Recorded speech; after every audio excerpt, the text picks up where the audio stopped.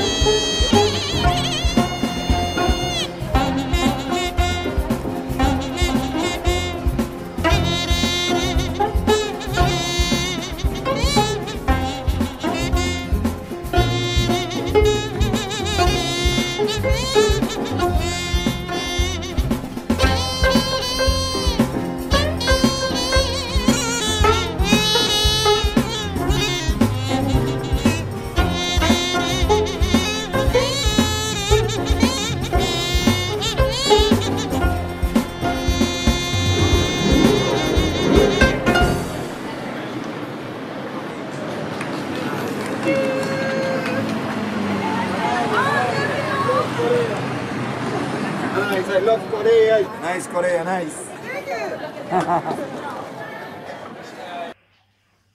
안녕하세요. 가야금 영주입니다. 오늘도 즐거운 버스킹을 가기 위해서 아침에 다림질을 하고 있어요.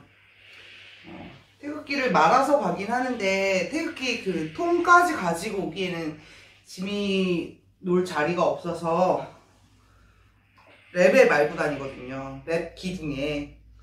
그래도 조금 구겨지는 면이 있는 것 같아서 그래도 우리나라 태극기인데 꾸깃꾸깃 다닐 순 없잖아요. 그래서 이렇게 태극기도 다리고 한복도 다립니다. 우선 얘는 어? 한복 재질이 사실 무슨 면이 아니라서 좀 많이 구김이 가기도 해요.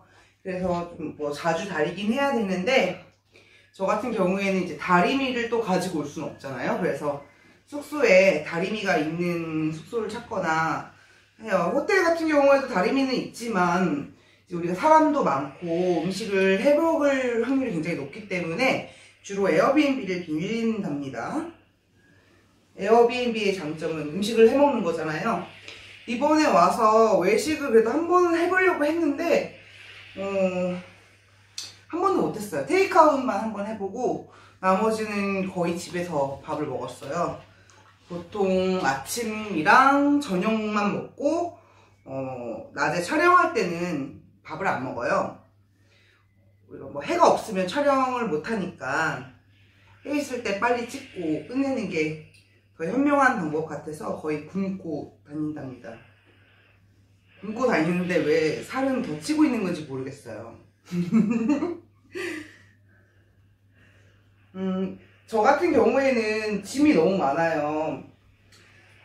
가야금 자체가 이미 한 가야금의 악기 케이스에 받침대 하면 18kg에서 20kg 정도가 이미 차지가 되기 때문에 뭐 다른 거를 챙겨올 수가 없어요. 특히나 이렇게 한복을 가지고 오면 제 옷은 잠옷이랑 뭐 트레이닝복 두 벌 정도? 그 외에는 이번에 정말 외투도 두루마기 하나밖에 없어가지고 어 추울 때나 뭐 이럴 때는 좀 곤란하더라고요.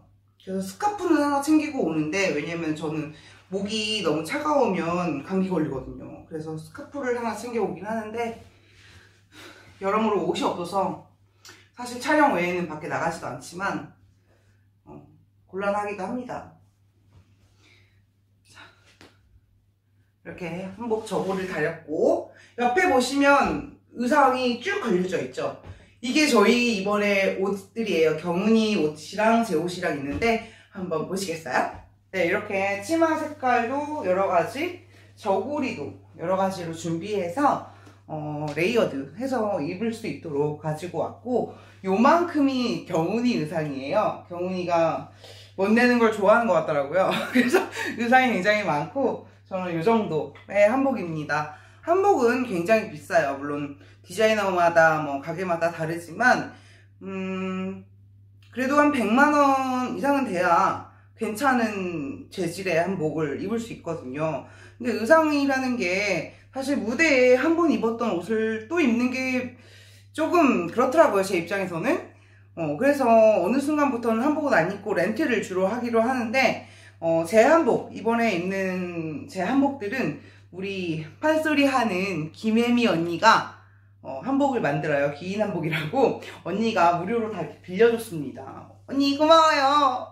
어, 오늘은 의상을 입고 어디에서 무얼 할지 아무것도 정한 게 없습니다. 잠시 후에 화장을 조금 하고 음, 마무리하고 그 다음에 어, 생각을 해봐야 될 것 같아요. 오늘도 여러분 저와 함께 즐거운 버스킹 여행 같이 가도록 해요. 출발!